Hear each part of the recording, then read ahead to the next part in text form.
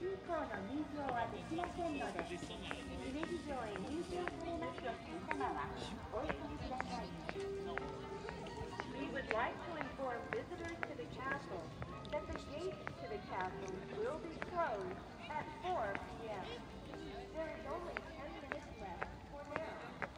We also would like to remind you that the windows at the